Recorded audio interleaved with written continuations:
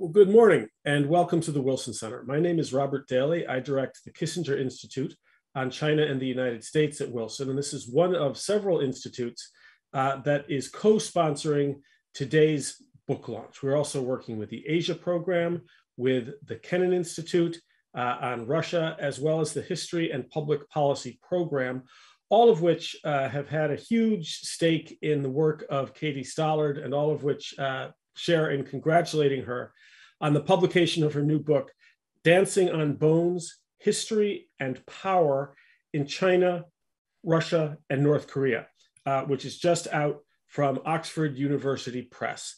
Uh, Katie Stallard is known to uh, many of the audience members here for the Wilson Center. She is now senior editor for China and Global Affairs at the New Statesman. She was previously a foreign correspondent for Sky News, where she was based in Russia and China. But during that time, she traveled throughout the region, uh, including to North Korea. She has reported from over 20 countries. And the experiences that she got as a reporter in the field uh, are spread throughout this book. Uh, the, the intermixture, uh, Katie, of, of really relevant storytelling with your broad themes and historical analysis uh, works extremely well. It's very rich. And Katie is also a former Wilson Fellow. Uh, she was a Wilson Fellow with us for about two years, uh, during which she also became a colleague uh, who we miss greatly. She worked as a moderator on many of our programs, as a spokesperson and discussant. And rather unusually for a Wilson Fellow, we also asked her to represent us at international fora. She went uh, for the Kissinger Institute to India to participate in a trilateral dialogue uh, between Wilson, uh, Russian analysts, and Indian analysts. As I say, Katie, um, you're, you're much missed, but um, we, we wish you all good luck at, at the New Statesman. This book, uh, Dancing on Bones, couldn't be more timely. I know that it was a, a, long time in the writing, but you must be pleased with the moment uh, at which it hit, because it is about how historical narratives of victimization and national virtue serve contemporary leaders' programs for building the power of themselves and their cliques, as well as their nations. It focuses in particular on use of the real history of World War II, but also the mythologization of World War II, how that is uh, used now by Vladimir Putin, and I think probably most of our listeners are familiar uh, with his use of those narratives to justify the invasion of Ukraine, but also by Xi Jinping and Kim Jong un uh, in different ways. They rely on World War II narratives and connections of those narratives with more ancient founding national myths for their countries to justify their current governance. Uh, so, extremely timely. We also see uh, tomorrow President Biden will be in Asia and he'll be visiting South Korea and Japan, which in different ways uh, are also dealing with some of these legacies, uh, and in particular, trying to sort out uh, the contemporary meeting of J- Japan's uh, colonization of South Korea and the comfort women issue in particular. So I have asked Katie uh, to give us uh, a taste for what's in the book, which I hope you will read, and to spend about 20 minutes doing that after which uh, we'll have a conversation and we look forward to questions from you. If you have a question that you would like to ask Katie, uh, please send it to us at china at wilsoncenter.org. China at wilsoncenter, one word, .org, and we will try to get your question into the queue. Uh, but with that, again, Katie, welcome. Uh, please tell us about Dancing on Bones. Robert, thank you. And let me start with just a, a the slightest uh, sense of the debt of gratitude that I owe to the Wilson Center. Um, I write in the acknowledgements that this book would not exist without the Wilson Center. Um, it's just so true. All of the, the programs that you mentioned, you know, your your own program and all of all of the great scholars at, at the Wilson Center who gave their time to discuss the ideas uh, in this book, supported my research. Um, suffered through many many long um, uh, conversations and, and really just you know welcomed me into the center. It gave gave me a home to to work and write on this book. So you know the, the center is just such an important institution. And for you know for journalists like me it, it, gave me somewhere to to come in from from from these regions to think through these ideas to to do do the research. Um, so i'm just tremendously grateful um, to have spent so much so much time there um, and, it, and it wouldn't exist without you also thank you. Um, let me start with how this book really started to, to take shape in, in my mind, which with hindsight, and perhaps I didn't fully realize um, at the time, was the early months of 2014. I was based in Russia at the time as the Moscow correspondent for Sky News, but I was spending a lot of time going backwards and forwards to Ukraine, where the what were known as the Maidan protests uh, were in full swing in Kiev, culminating in, in the overthrow of Viktor Yanukovych um, in February 2014. So the experience of that in Kiev was then this tremendous celebration, this sense that the protesters had achieved this great victory. But very quickly, we started to get reports that that was not how this was being received right across the country, and that something quite sinister was going on in the Crimean Peninsula, where what were being described then as little green men, but which, of course, we know now were Russian soldiers without their insignia, were moving in to, to take over key government buildings, the airport, the main infrastructure there. So my team and I set off by car. We, we drove from Kiev down to Crimea to try and find out what, what was happening. And really, there was this formative experience right on, on the approach to, to Crimea in the middle of the night, which I, I opened the book with, where we got stopped by this checkpoint that, in this case, was manned by, by local volunteers in southeast Ukraine. Um, some of them had come across the border from Russia, some of them were locals. They're all wearing, wearing masks, camouflage, camouflage gear. A number of them had guns, um, and they, they stopped us. And you know, we're initially very, very angry that, that journalists were, were trying to to try to come towards the Crimean Peninsula. But the, the, crew that I was with were entirely Russian. And once they started to, to speak to them um, in Russian, they, they relaxed and, and started to tell us from their perspective what they thought was happening in their country, which was, as they told us that night, that fascists and barbarians had taken over the capital, Kiev, and that they were right now threatening Russian speakers in the in the southeast of the country. So they'd formed this barricade. They were stopping all the cars, checking them for, for guns and weapons, and determined to, to stop what they saw as this fascist coup that they were told from Russian state media had happened in Kiev uh, from happening where they were. But it was notable to me how much they referred immediately to the history of the Second World War. Um, a number of them had these the orange and black ribbon that's known as uh, the, the ribbon of St. George. Um, it, it, it's associated with a battle order from the Second World War um, in the Soviet Union a number of them were wearing that right from the very early days um, as this identifying symbol. And they were referencing that war. They were talking about, you know, this is the land where our ancestors fought during the, the Great Patriotic War, as the Second World War is known there. And we're here to make sure that that's not going to happen again. So I, I think I was aware early on of just how present references to that war were. And they just became central to both the, the campaign and the takeover of the Crimean Peninsula, where you would see billboards with you know uh, uh, the the text would say we we choose talking about the referendum. And that choice was between a, a big black swastika and the russian flag. So it was really being explained to people as this is effectively that the you know it's the same fight of good against evil that took place in the great patriotic war and once again russian speakers are being called to, to, to stand against these these fascists um, and and the you know what, what is portrayed in Russia as, as an attack on, on Russian speakers. And it was the same as the conflict started to get underway in, in eastern Ukraine, you know, my, my team and I would cross backwards and forwards over the front line, and you would really pass between these two totally separate realities. So you would come from from Kiev and the, and the parts of the country that were more more pro-European leaning and, and, and consuming more Ukrainian and European media, and then you would cross into the separatist controlled areas where there were primarily getting their information from Russian state television. And they just had this totally separate understanding of what was happening. They, they really, uh, you know, a number of them really seemed to genuinely believe what they were being told about this, this fascist threat and that this was once again like the Great Patriotic War. You'd find you know, portraits of Stalin at checkpoints in the middle of nowhere and everywhere this symbol, the, the orange and black ribbon. So that really got me interested in, in how the history of that past war was being used in, contemporary politics in Russia and the neighboring Russian speaking regions of, of, Ukraine. And then I moved from there to China in 2015, where one of my first major assignments was covering um, what was being described as the Victory Day parade there to commemorate the, the 70th anniversary of the end of uh, the Second World War in Asia which was this extraordinary occasion. You know, it, it, felt very much like some of what I had seen in Russia in Red Square, where you have these, you know, great bombastic military processions. You know, the leaders are all there. Putin was there as as Xi's guest of honor. You know, extraordinary choreography, fly past of all of the the latest aircraft, um, and it and it felt like this very long running tradition.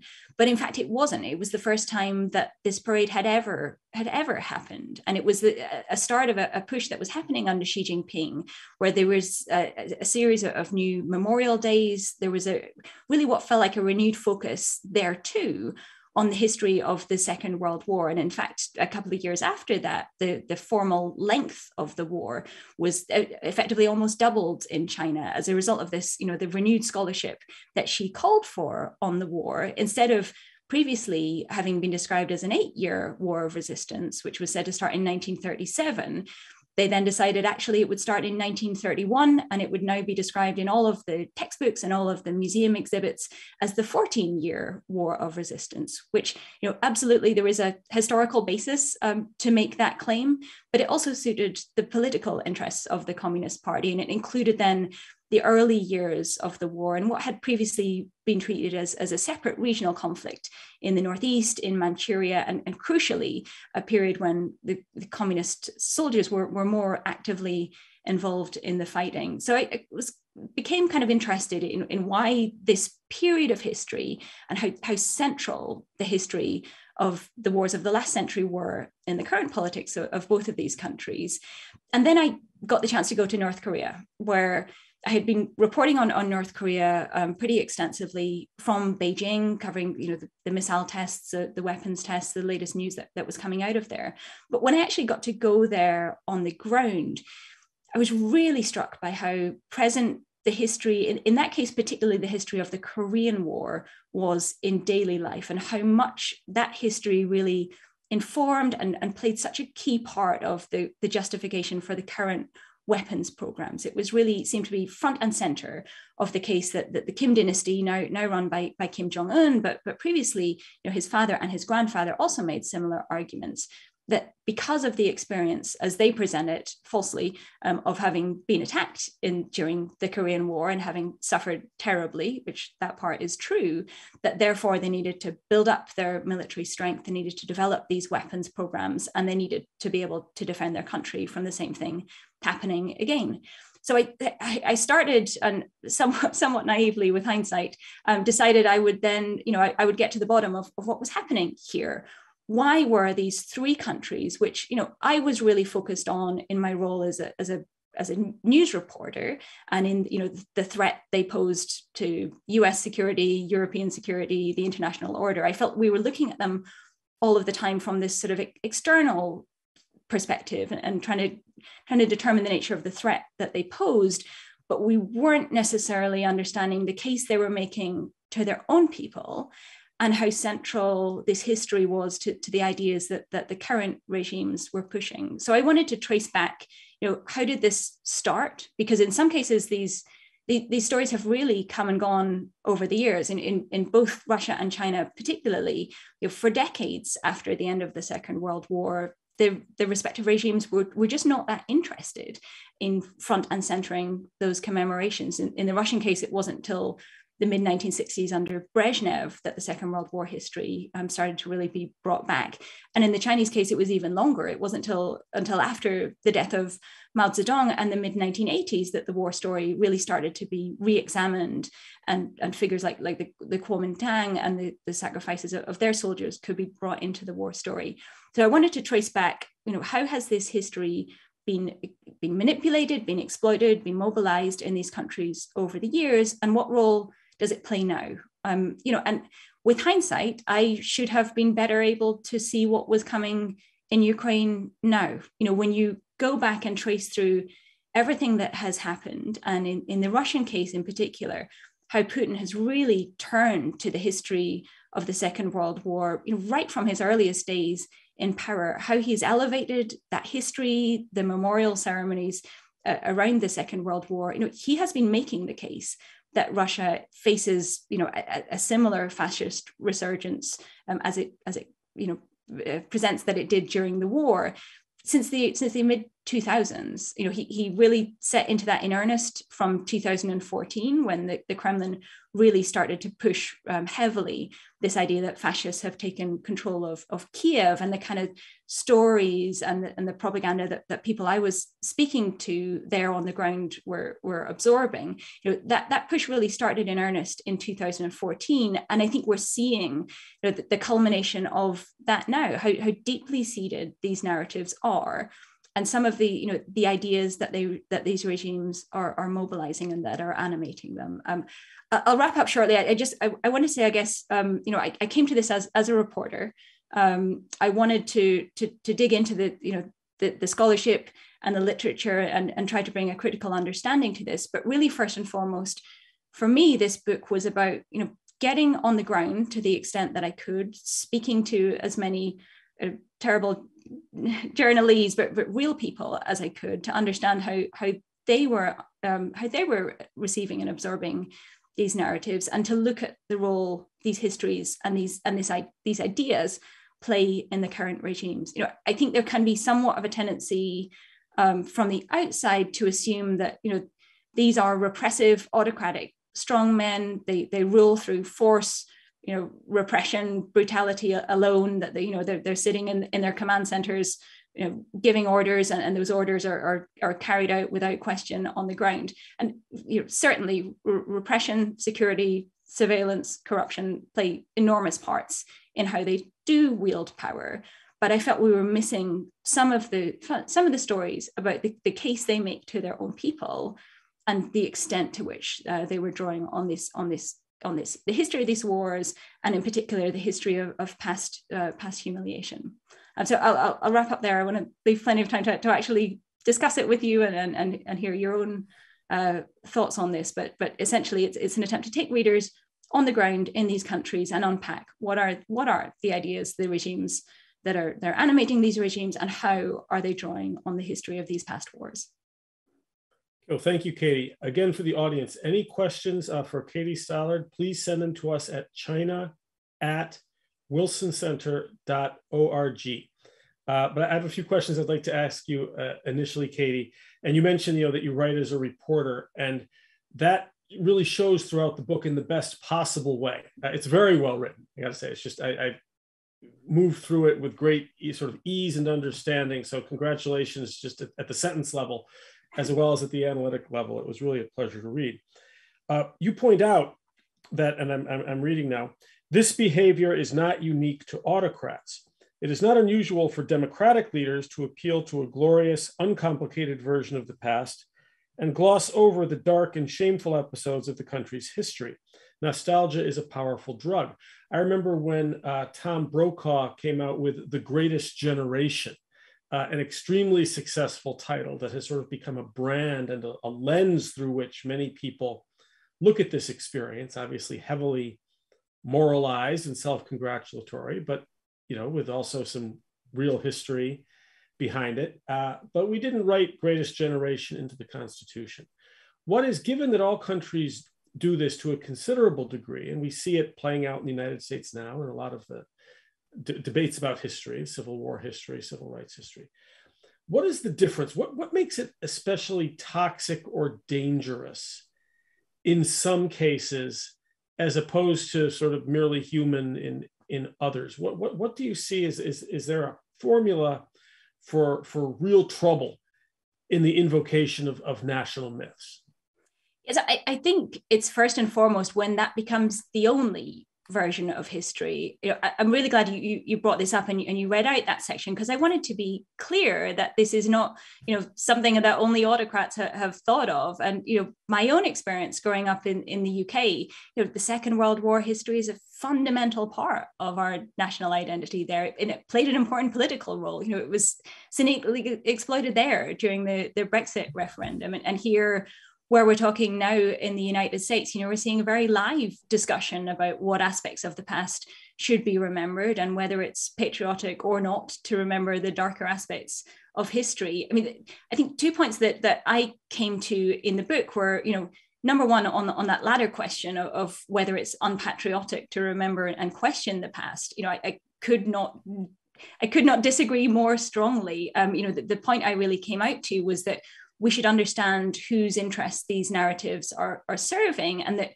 presenting this past as this glorious, nostalgic, halcyon uh, myth that can't be questioned and is and is sacred that only serves to entrench existing power structures and it helps uh, those who are currently in power. So it's not in, in our interests as, as citizens um, to, to just accept that unquestioningly. Um, but I think what, what is dangerous in all three of these cases is that it, it now is so dominant in the official discourse. So here, you know, you, you can have a situation where the president appeals to a, a, version of history, or as Donald Trump did, set up the 1776 Patriotic Education Commission.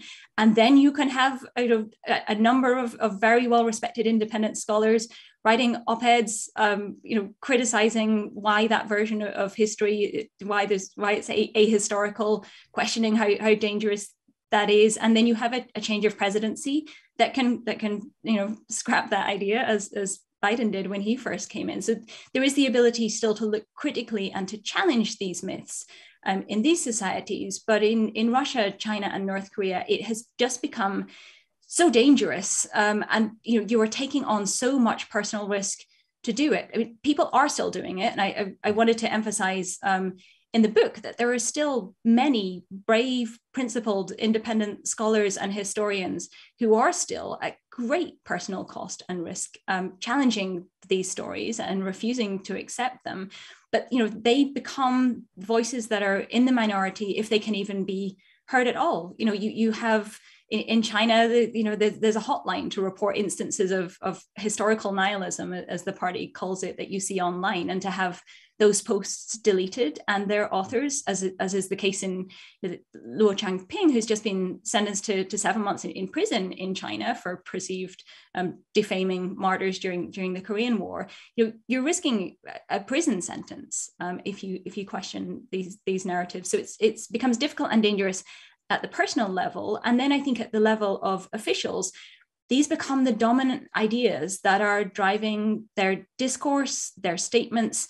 These become the, you know, the, the kind of terms that Chinese diplomats are required to use now to, you know, to talk about the importance of never conceding an inch, you know, to accuse um, the United States of, of trying to trying to humiliate China as it has in the past. So these these narratives become dominant in the discourse and at the at the policy level um, and i think that that's when this is dangerous because also that you know these versions of history do strip out the atrocities the horrors you know the, the darker aspects of these wars. And you're left more and more with just the sense that you know, this is an unquestionably uh, positive narrative. You know the country faced great threat. It rallied under these strong leaders. The people fought back and they secured glory for themselves. So those ideas can be quite dangerous when they become the, the only or at least the overwhelmingly dominant version of history tell us about you, you use this phrase historical nihilism which those of us who watch china closely are very familiar with but it's a very strange phrase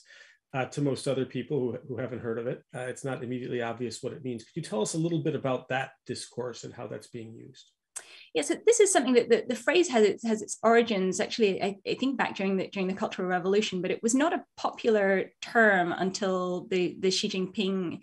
Uh, I, I, want to say era um, until certainly until until Xi Jinping came to power. And actually, you know, one of the scholars that I that I spoke to in China showed me what happened on the on the CNKI um, database, this database of, of Chinese um, articles when you type in historical nihilism and you look at the publications. And, and before 2012, you know, you, you see occasional small peaks and, and this held actually two when he did the same for the people's daily um, database you see you know occasional small um, small small peaks on under the search term historical nihilism.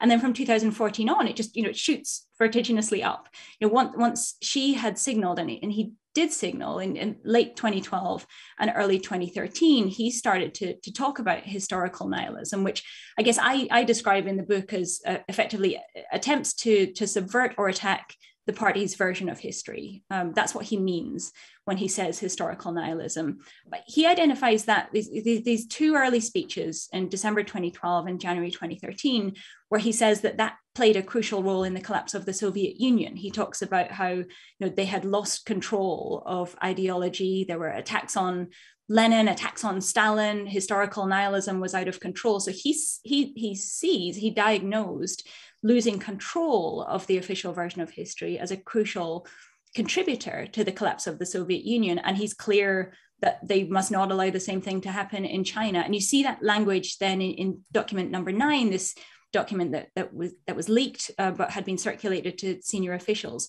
describing historical nihilism as one of these seven grave perils, as they were described, that, that could form a threat to the Communist Party's grip on power. So, right from the start of Xi's term in power, he identifies history as a, as a crucial resource that needs to be carefully controlled, um, and he and he starts what is now, you know, the historical nihilism campaign um, is now very very widespread. It's something that, as I say, there's there's a hotline, there's an anonymous tips reporting line for citizens and netizens to, to report instances of historical nihilism that they see, and it and it can be a serious charge to be accused mm-hmm. of of historical nihilism. So I think that's that's quite a specific change in the Chinese case since Xi has come to power. And you know, speaking to to, to scholars there, when I when I was in Beijing, they would talk about how it had just you there had always been sensitivities. You had always had to navigate carefully around history, no matter who the leader was.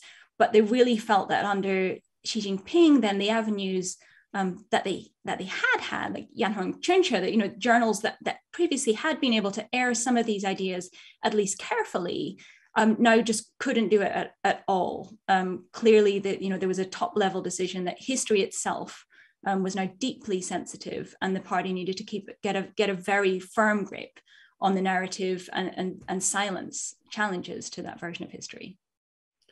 We, we were talking uh, here on Zoom before the program started about how world the World War II experience is remains so central. It's the touchstone, you know, historical, national, in some cases moral, not just for the three countries you write about, but for a lot of countries in the West and for the major combatants. Uh, but of course, that isn't true for everybody. And, and we have a question here uh, from Diana Negroponte uh, at the Wilson Center about this. And Diana asks, how might we apply your hypothesis to the memory of colonialism? you know, another major trauma uh, for much of the world. Uh, the fight for freedoms and the fear of external intervention continues to be raised critically in Zimbabwe and other parts of Southern Africa, as well as Algeria and much of Northern Africa. So, do you see these patterns that you here uh, identify with memory of World War II? The way that it's used today, do you, do you see that replicated in, in other areas who have other central narratives, colonialism in particular? Well, first, it's wonderful to hear from Diana, and I, I very much miss our, our conversations at the Wilson Center. And it's, it's a great question. I, I think what is common to both of these narratives and what is so potent about them is that they draw on real lived experiences. You, you mentioned how you know how, how central the, the, World War II history is. I think you know in our, in our own societies, you know, in the Chinese and Russian cases in particular, you know, it's important to understand just how much of the population these conflicts touched. You know, how many tens of millions of people died in, in these wars, and, and how great the suffering was um, in North Korea during the Korean War. So, these narratives are drawing on real, lived, family level experiences that resonate deeply um, across across the country and, and across citizens. So, while they have been manipulated and distorted there is there is truth and there are real experiences um, at, at, their core and it, so i think that is that is what is what is common then to, to an area I know, I know much less about, so I, I won't pretend to, to know um, a, a, great deal about, about how the colonialism narratives are, are, being mobilized. But I think what is what is in common is that these are experiences that really do touch and resonate with the wider population, and therefore are very potent in, in the hands of, of contemporary politicians in the way that, you know, appeals to, you know, hollow propaganda slogans or, or talking about GDP levels just isn't. These are these are emotional resident resonant narratives that go much more to the to the core of our identities and our beliefs about ourselves um, on our on our history. So I you know I, I think it's important to look um, look critically how are the how these narratives are are being mobilized and who they're being designed to appeal to. Another question from the online audience, but first a reminder, uh, if you have a question for Katie Stallard, please send it to us at china at wilsoncenter.org. Here's your question. I worked at NATO for a while, and in this context, met with a lot of military uh, and diplomats from former USSR countries. They all claimed that nobody believed Moscow's propaganda at the time. How do you explain that the current propaganda seems to be so efficient that people now seem to believe it uh, in a way that they didn't previously? Why is it resonating so much in Russia in particular? Well, I mean, one great caveat that I would inject at the start of this is that it's becoming increasingly hard to know um, what people genuinely do and, and don't believe. Um, certainly, in terms of some of the latest um, polling that's been done using, for instance, list experiments, um, which is, enables people to, to speak more freely, um, the evidence that, that we're seeing is that there is majority support for this war and for the idea that this is an attack on Russia.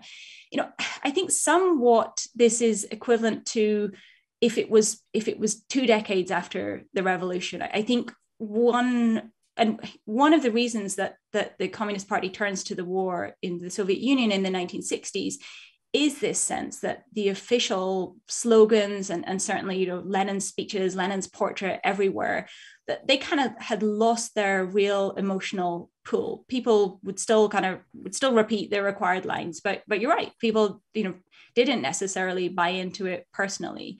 But I think the turn to the war and the and the push now to frame the current um, actions in terms of of that past war is a real cynical attempt to pull on these emotional threads in a way that that does resonate and to draw on i think what putin has done is woven this, the story of the war into the story of the soviet collapse. So when, when he is is talking particularly in the early 2000s when he's first come to power and the memory of you know the humiliation the real shortages you know the real sense that that russia or the soviet union had disappeared and, and what was left in its place was very uncertain.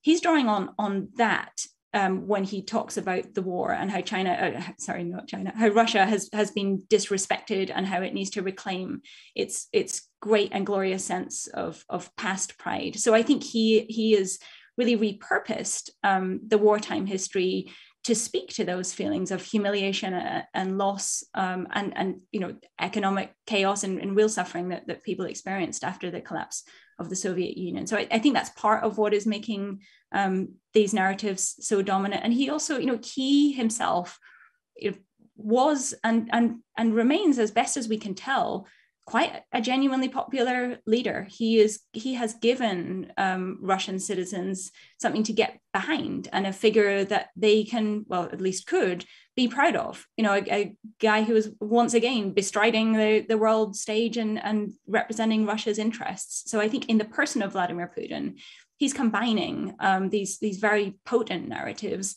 And the evidence is, as best as we can see it, is that this is proving quite effective so far. We have a question now, Katie, uh, from your former colleague Stapleton Roy, who's going to ask you to flip this around. He asks, "He was in. He was in the book." Stapleton. can you comment on the role that historical interpretation is playing in Ukrainian resistance to the Russian version of history? This is being used by both sides, right? Yeah, and we saw this. I mean, really dueling narratives on, on Victory Day, May 9th, um, the anniversary of the end of the war. Putin and Zelensky gave back to back and opposite speeches where they were each trying to essentially the central argument is we are the good guys those are the enemy. Um, so, so Putin was was claiming that this was once again the Great Patriotic War, and once again Russia was being called to, to fight against the Nazi menace. And Zelensky gave a very powerful speech where he said, "No, you know, actually Ukrainians also fought and died against Hitler in the Great Patriotic War and, or in World War II.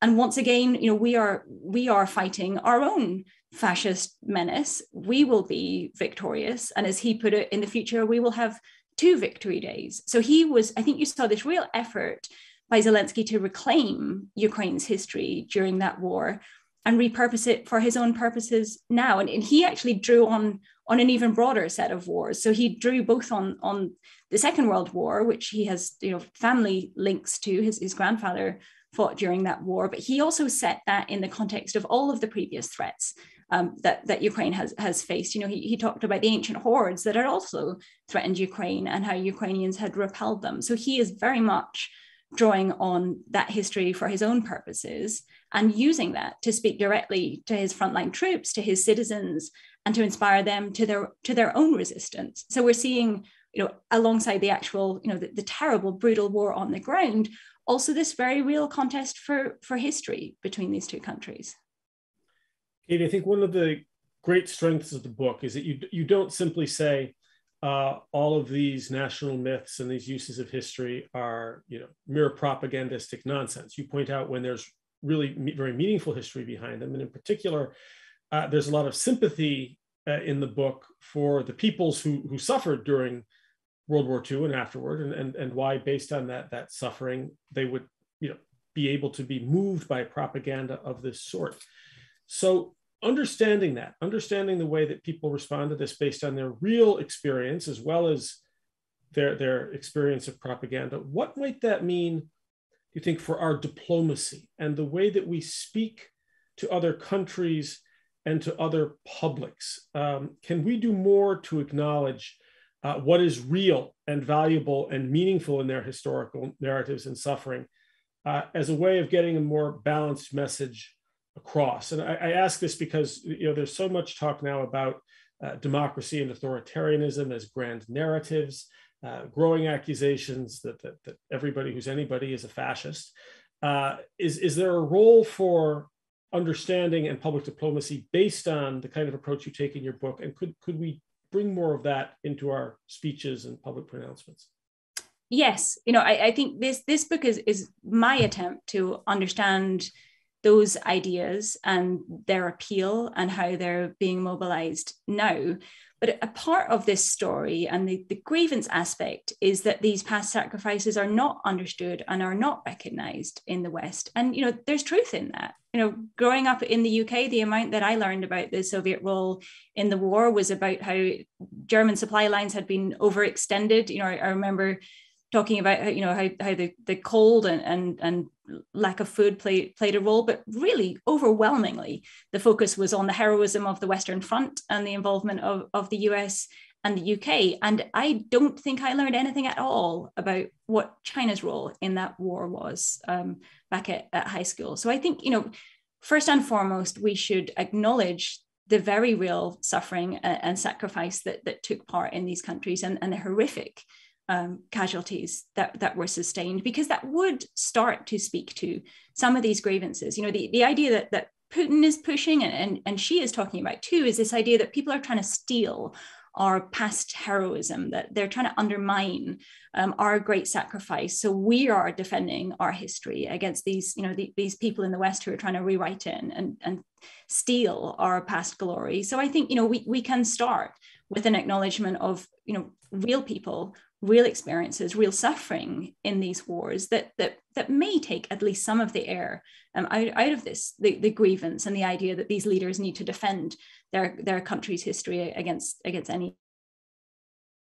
I think that was probably a typical American, and that growing up, my views of World War II were shaped by films. You know, Patton, Battle of the Bulge, Bridge on the River Kwai. To a degree, it wasn't until I read uh, Timothy Snyder's Bloodlands that I began to understand what the war had really meant in the East and how inadequate those narratives uh, had been, the triumphalist American uh, views. We have another question from the audience um, who says, uh, What are your thoughts about how best to counter the manipulation of history? So, this is a different sort of the mirror image of the question that I just asked about sympathy and public diplomacy. For example, should we dramatically step up funding for the Voice of America, the BBC, uh, Radio Free, Free, Europe and Radio Free Asia? Uh, should we radically reform their content? Uh, so, in addition to say the, the, sympathetic public diplomacy side, what about really trying to counter and and, and corrode these narratives when they're false? It's, I think one potential trap in that is anything that's then seen as as US propaganda or Western propaganda um, that that you know there is a danger that can be seen as playing into the same sort of history war. But i think as long as it's done you know subtly and with the you know the great independent journalists who do work um, for these organizations then absolutely we should be giving every possible support we can to media organizations that are trying to make you know information and, and compelling journalism available in russian in in chinese in korean. We should be doing everything we can to amplify alternative sources of information that are nearby that people may well be able to access. And you know there's something people can do right now you know a, a large number of russian journalists and the, and the last remaining independent media outlets uh, are now in operating in exile. You know a, a, lot of them have had to flee across the border. They're running their operations uh, from from eastern europe from the from the baltic states. You know one thing we could do right away you know for any of us who, who care about um, showing up these you know the, the truth about history is donate to these donate, donate to these organizations facilitate russian chinese korean journalists um, who are um, trying to do their own journalism and trying to counter these narratives. And, and the other i mean the, the counterpoint to that is that also what we should not do is make it harder for scholars historians students from these countries to come here to the united states. You know it, it should be as as welcoming as, as possible for people to come here, pursue their research, and, and not face questions about, about their loyalty um, and, and any, you know, be perceived as, as a threat when they come here. We should be, you know, opening opening the doors, welcoming scholars to come, you know, bring bring their resources, bring their interviews, bring their papers, and pursue pursue that research here. I should note in this context that the Wilson Center has recently started a new program to support uh, scholars who are under threat to do precisely what you just mentioned. And we're bringing Russian, we have uh, Belarusian uh, scholar, uh, people who cannot work in their own countries. This, this is a tremendous need. Uh, and we would love to see you know, more think tanks, universities take this on as, as part of their missions for the, the reason that you mentioned. Again, if you have a question for Katie, china at wilsoncenter.org. Uh, Katie, I'd like to come back to the three country cases uh, that form the majority of, of your book. Of course, a lot of countries have victimhood narratives for very understandable reasons. Think of Poland, Ireland, uh, perhaps Scotland uh, to a degree. Um, and of course, the United States narrative is mostly one of, of, of triumph, but all three of the cases that you look at Russia, China, North Korea manage the trick of somehow simultaneously presenting themselves as history's victim and history's victor right? And that's a that's a tough balance to strike. Could you maybe speak a little bit about how all three of those countries manage that and balance? When do they play the victory card? When do they play the victimhood card? And and how is that received? Yeah and it is a contradiction and it's important i think it's one of the one of the problems with pursuing this version of history as such a central part of, of the regime's narrative is that it kind of dooms you to never be able to leave it. You can never totally win. You can never totally vanquish all of the external threats once you once you really rely on on these you know external enemies to, to blame all of all of the problems on. But I think in all three cases, and I think I'll start with China because there's a really clear turn um, post Tiananmen to focus on that past victimization. There's this sense, and, and Deng Xiaoping um, identifies this in, in, his speech just, just days after the, the crackdown and talks about the failure of ideological education and how we didn't do enough to teach the wider population about what China was like um, in the old days and, and what, what kind of a country China was to become. And there was then this really concerted focus, and our, our, our colleague uh, at the Wilson Center, Zheng Wang, um, writes brilliantly uh, about this, and I, I cite his research um, in my in my book about how central a part of the patriotic education campaign that then followed was this victimization narrative. You know, he, he talks about this shift from what had been during the Mao years very much a, a, victorious narrative, this sense that China was sort of inevitably going from one great victory to the next, to really then to, to focus on how was the country humiliated, how, how was it victimized, and this sort of central slogan of, of that campaign, which is still very prevalent now, of never forget national humiliation. So, that, so there was a, really deliberate uh, shift to focus on, on what's described there as the century of humiliation and, and how the country had suffered um, in the past under imperial rule. But of course, the you know the end the end message of that story and of all three stories is therefore the need for the current leadership. That how China recovered uh, from that great humiliation and, and, great victimization was with the Communist Party coming to power, uniting the people, fighting back, and therefore it's essential um, in, in their version of, of, these events that, that the Communist Party must always be in power. So, so there is a there is a sense that we need to focus on the victimization, but in the context that then with the right leader, you can reclaim you can reclaim strength, you can defend the country, you can stand strong against your enemies. In the North Korean case, it's it's interesting to see that actually when they focus on the suffering, um, particularly during the, during the Korean War, what they tend to focus on there is more the personal atrocities. So they, they in fact, have, have invented um, a, a, lot of these um, really awful um, stories that, you know, the American soldiers are accused of carrying out all sorts of um, horrific, know, mass rapes, mass murders, torturing people to death, pulling them apart with oxen. You know, every every possible barbaric way to die you can you can think of um, American soldiers are depicted in, in North Korea um, carrying out, which which we should say is, is false. Um, but they focus on that and the personal attacks that that the that U.S. soldiers are, are said to have carried out, rather than the widespread destruction. And the, you know, North Korea was bombed to ruins um, during that war but there is less focus there it is it's part of the story but it's not the center of the story the center of the story is the evil americans and how much americans hate koreans and how much they're therefore a danger a, a danger to them that's an innate part of their of their character because i think they're trying to strike this balance between well if you know kim il-sung was in power then why wasn't he able to do a better job of, of defending the country? Why was the country so utterly devastated? So the, the answer they've, they've come, come to is to focus on the personal and the individual and the kind of human level of that story rather than you know this the massive strategic disaster that was the the, the, the early months of, of the Korean War um, for, for North Korea. So they're, they're trying to strike this balance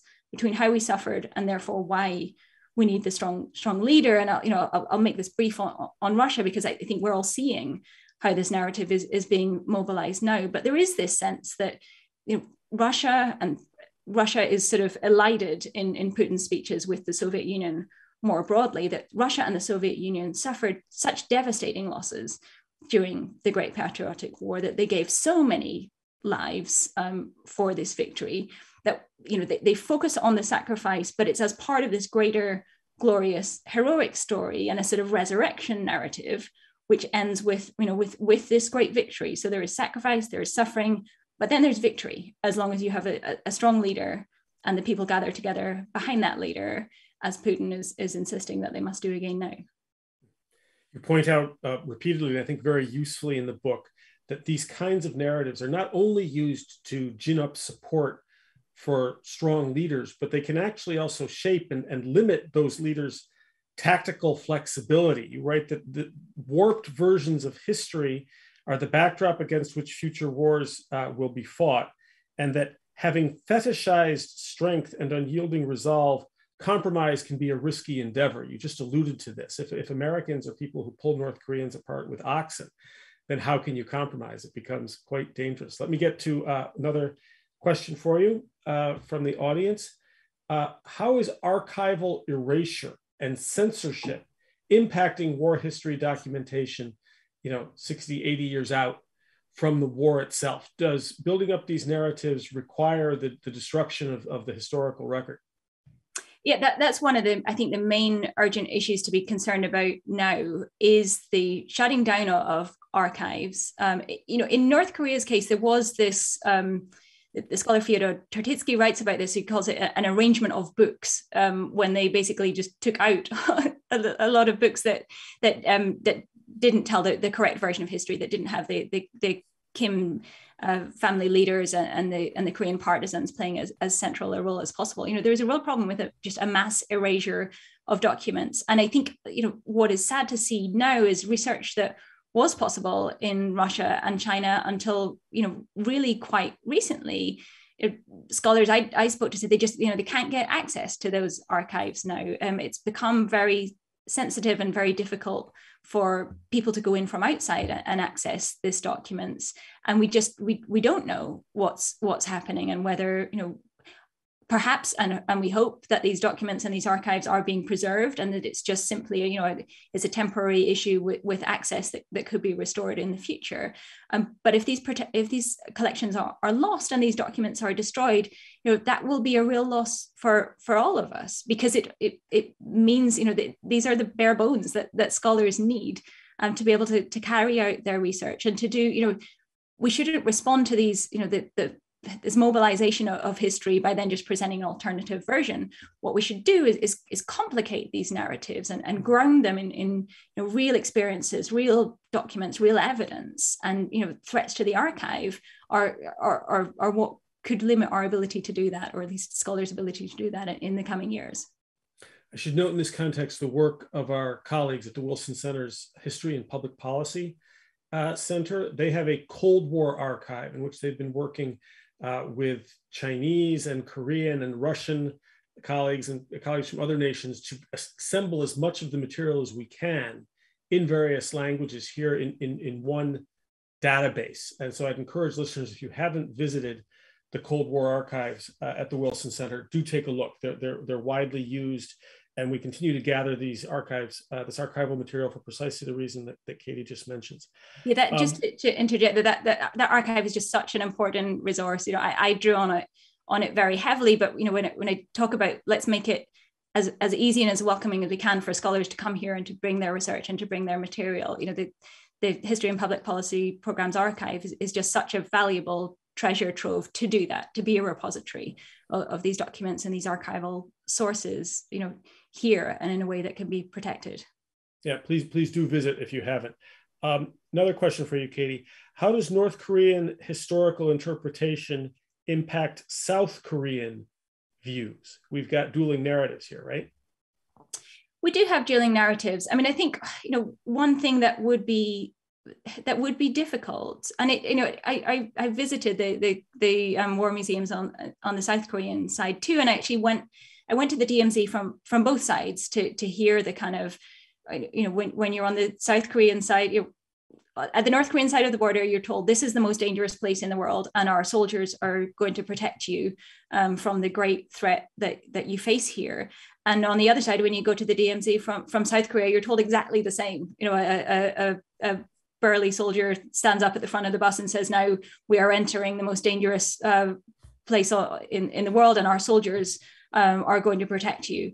Um, so it, it, the, these narratives are, are weaponized on, on both sides. And I think a difficulty, you know, down the line will be reconciling, you know, I, one potential, I think, note of, of optimism is that while while the evidence that we have suggests that actually most of the of the violence was was between Koreans th- themselves, certainly in terms of the you know these terrible atrocities, and you know it's important to say that there was the, the Nongong massacre that you know the, there were atrocities that U.S. troops were carried out, but these these terrible um, personal um, torturous stories. To the extent that we have any evidence that, that that happened, the the explanation is that it's most likely inter-Korean violence. But the Korean part of that story isn't emphasized um, in North Korea; it's externalized. So it's it's the argument that they make is more about you know it, that it was the Koreans who were peace loving, um, you know, peaceable, um, going about their daily lives in, in North Korea. And it was the external enemies, it was the Japanese and the Americans um, who were who were the main uh, threats and the main enemies. So that the Koreans themselves haven't become so central to, to that narrative in North Korea, I think might make it more possible to reconcile um, those those dueling narratives. But again, at the moment when the, when it's so difficult to have any conversations um, between between the two Koreas. That that is a real that's a real barrier. You know, these, these narratives become sealed off from each other, and each each compounds their own. Each comes to believe them and teaches them to future generations according to their own their own version of events. So, a, a related question: Right now, China, Russia, North Korea, uh, their relations are improving. Uh, both the, the, pairs as well as, as the, the, the triangle, these relations are getting stronger. And the leaders of these countries all have are use use history in a similar way as you described but they're not the same histories. They're sometimes at odds with each other. So do you see have you looked at whether uh, that is causing any problems? Is there any desire to harmonize these histories? You know to date, as far as I know, that China does not uh, deny uh, the existence of the Molotov-Ribbentrop Pact, for example. Um, we know that China and North Korea have uh, very different narratives you know, of, of the Korean War and uh, even of uh, some of the earlier revolutionary period uh, in the Kim family. You know, China has been annoyed for decades that, that North Korea doesn't acknowledge China's contribution to, to the Korean War. So you're going to have among a, a, group that is not not yet it's it's not allied, but they're working more in concert with these vital sacred histories, which are sometimes at odds. Um, where do you see that headed? I think what you tend to see in practice is them drawing on the common areas of common ground. And in the North Korean China story, it's really interesting to see. You know, it's one of the complaints that the Soviets and the Chinese make um, during the Kim Il Sung era is that they've essentially written out the, the, the Soviet and the and the, the Soviet role in uh, liberating the, the Korean Peninsula from, from Japanese rule, and then the Chinese role um, in the Korean War. There's a there's a complaint that um, they've set up this pavilion of an exhibition um, of of the history of the Korean War, and the Chinese partisans have only gotten one tent. Um, so it's they're they're sort of one tiny fraction on on the sides of the war, where in real life they were absolutely critical, and, and Kim Il Sung would, would certainly um, have have lost the war without the Chinese intervention. So the, the, there have been grievances in the past about whether each country's role has been given its due recognition. But what's quite interesting to see, I think, once the relationship between Xi and Kim started to thaw, um, so, so from spring of 2018, when Xi goes to um, North Korea for his first visit since since, uh, since taking power, they then go to the the monument to the friendship between their peoples, and they and they sign this um, this document in front of this frieze um, of the Korean War history. So as and when it's useful, they refer to their shared sacrifice and their shared fight um, in this war, as as Putin and Xi do too. You know, Xi was Putin's uh, Putin was Xi's guest of honor at that victory parade in 2015, and, and they both draw on the part of the war that gives them firstly gives them some stake in the in the post-war order. You know, they, they both emphasize that they were uh, their countries um, anywhere were, were joint authors um, of the UN declaration, and, and they position themselves as the countries that fought earliest, uh, fought longest, suffered most in those wars. So there are absolutely um, differences and, and, discord between their narratives, but I think what we what we see as relationships are are good is them drawing on drawing on the common ground and holding up these uh, you know the areas that are shared experiences. One last question uh, quickly, and I think you, you sort of touched on this, but I wanted to give you a chance uh, to say anything that you haven't been able to say in this regard.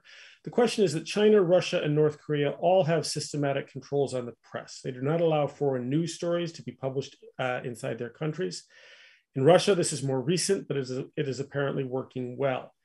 The question, how can this effectively be countered to get the truth to people in these countries? So again, without being propagandistic, as you've mentioned, is there anything else you can would like to say about how journalists or national governments or think tanks can responsibly counter some of these tendencies?